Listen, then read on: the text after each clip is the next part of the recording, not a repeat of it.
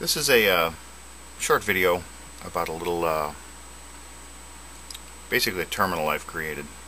It's uh, using an old TI-99 4A keyboard. Used to be able to find these in the surplus market, but it seems as if they're getting harder and harder to find.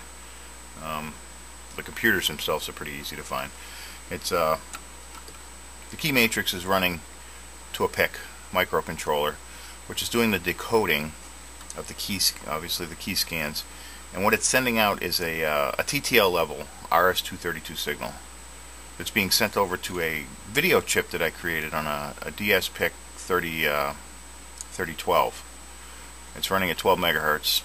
Inside, it's being uh, upped to 48, and it's the uh, the basic voltage divider kind of a, a, signal out that gives you a black and white uh, black and white video.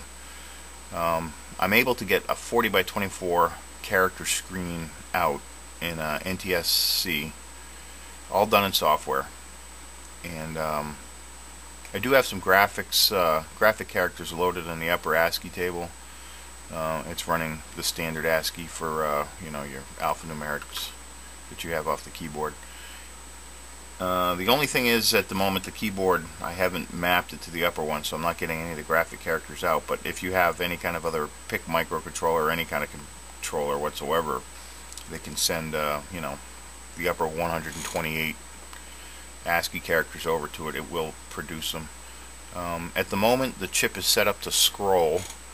Uh, hits the bottom line the 24th line. It will bump everything up um, there's a little glitch in the screen when you see it because of the timing that's in there. It's it's moving 900 and something characters in memory, and I was uh, not able to find a good place to hide that code while the video timing is is staying on. I'm not using interrupts to do any of the video timing. The video timing's all done in software as straight line code. Uh, it's it's pretty simple. I, I didn't want to use uh, interrupts because they get confusing depending on where you are in the code and having to uh, you know the save variables and whatnot it just for me I never liked them at some point I'm sure I'm gonna have to start using them in other projects but at this point in time I don't I didn't on this one. Okay this is a startup screen. This is what happens when you turn the video chip on. You get a, a title display. All being done in software that can easily be changed to anything you want it to say or nothing at all.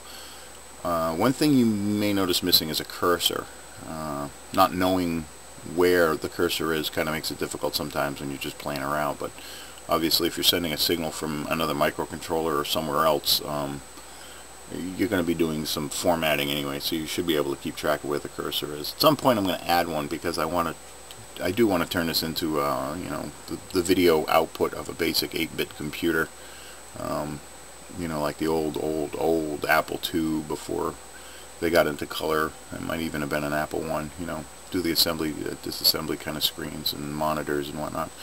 Um, knowing, you know, having written the software, I know that the cursor is at the top left-hand corner of the screen. It's at the beginning of that title line. So if I hit the enter key twice, it drops it down twice, obviously, and then you can type in a little, you know, text as you go. Oops.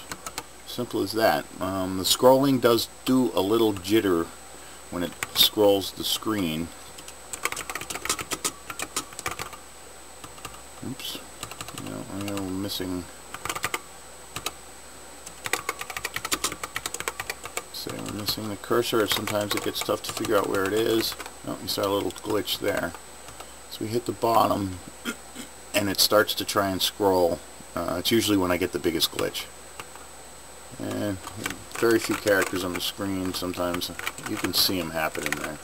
It's something overly offensive? No because it's gone in theoretically it's gone at 1 30th of a second because the video screen is being constantly refreshed every 1 30th of a second or 29.97 per second. And that's about it. There are keys in there for clearing the screen. Put your cursor back at the top uh, graphic characters at the top 128 of the ASCII code as I was saying but at the moment I don't have this keyboard uh, uh, the scan codes in it are not reading anything for the upper 128